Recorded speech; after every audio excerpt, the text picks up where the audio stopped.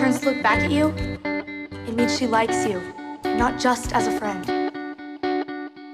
That's crazy. When we were watching Andi and Jonah, you asked me, am I happy for Andi? Aren't you so insanely happy for Andi? Yeah. And I said, yes, I'm happy for Andi, but I'm also not happy. You like Andi?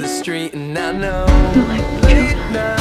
It's gonna be okay, Cyrus. You just need to calm down. Yeah, Sure. I I feel weird. Buffy, am I gonna be okay? Different. It'll get better. Hold on. You already are okay. It's always been weird. You're not the only one who likes Jonah. You're no different. I like him too. TJ hates me. I hate TJ. Who's TJ? The captain. He looks a lot meaner outside. Hey! He's with me. I went down to the swings to calm down.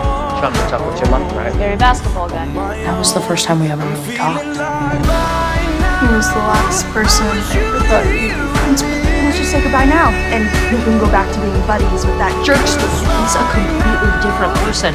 My crush on Jonah, it's gone. Just disappeared. I wouldn't say disappeared.